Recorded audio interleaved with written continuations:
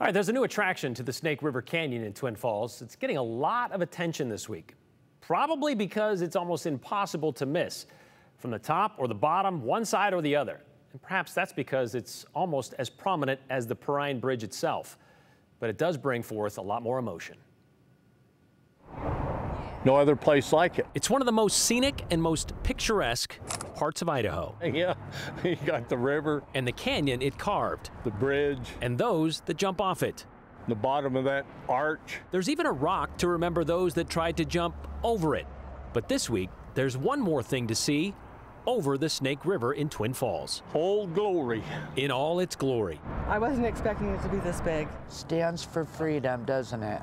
Yeah. It's pretty, pretty impressive. It's like it's hanging there by itself. Except it's not. It was put there by the group Follow the Flag, who took three days to anchor it, hang it, and finally unfurl the largest American flag to ever fly. Hey, how, how big do you think that, that flag really is? Six foot stripes, um, it's 154 feet long, 78 feet wide, so over 12,000 square feet. It's a quarter of an acre. I mean, that's bigger than most mansions. Yes, yes. I can't imagine the weight, the weight of it. On the scale, it's 400 pounds, but its real weight is relative considering why is the flag out there? Why it's here. For 9 11. Which is why the reaction to those who walk out here and see it for the first time. I got the goosebumps. It was it really touches me. Is about what you'd expect. Big goosebumps, I'm not kidding. It's an emotional experience for sure, for many who stop by.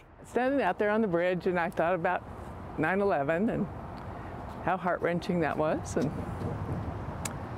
said a few words, and still right here. Like Tammy. It's, it's beautiful, it's amazing. Who moved back to Twin Falls to help her dad fight cancer. I haven't been able to leave the house much, just taking care of him and got about a half hour. You could have done anything in this half hour. Why this?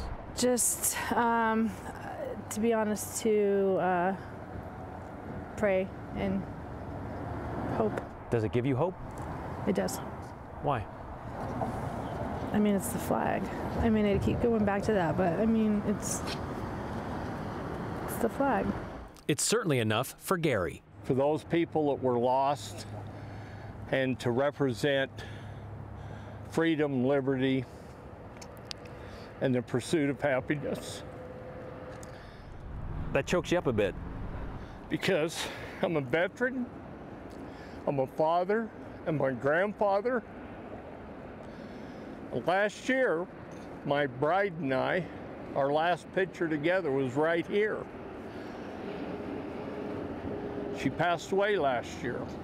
Meanwhile, ah. So that's what it is. For someone like Malika, it doesn't really mean much to me, to be honest with you, given my ancestral history. you know, it's not like, oh my God, I'm so proud to be an American. Like, no, not really, but it's cool to look at. What does it make you think about?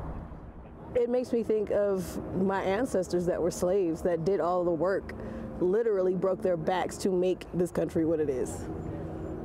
Still not recognized how it should be. So, I mean, that's a lot of years, decades, centuries to just be broken like that. I mean, it's just a piece of fabric to me, really. But I mean, it's cool to look at. But learning it was stretched across the canyon for 9 11? Yeah, that was rough. Kind of hits home. Lost two family members in there. It was terrible. We couldn't find my uncle for weeks. Weeks. And the whole time he was down there helping people. We thought he was dead. So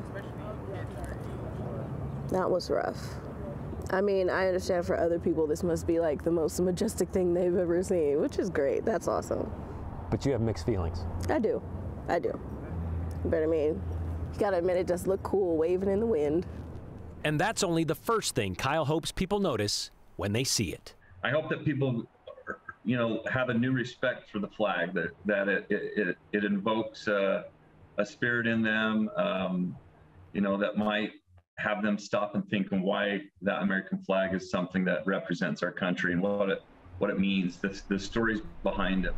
I'm glad that there's people still doing this. Well, in case you're wondering, the flag will fly through Saturday morning if you want to see it for yourself. And I know what else you're also wondering. How did they get it out there? Well, we're told a drone and a string to start, and then, of course, pulleys. Then they increased the weight of the cord until they got to the steel cable. Kyle Fox with Follow the Flag says hanging the giant flag began as a 4th of July stunt in Pleasant Grove, Utah back in 2015. Since then, it's taken off and they've hung a flag in six different spots over the last eight years. So will it be a regular in Twin Falls? Well, that's going to be up to the Magic Valley 9/11 Memorial, who is responsible for bringing it to Twin this week. And Maggie O'Mara is going to have more with them on Sunday, 7 0.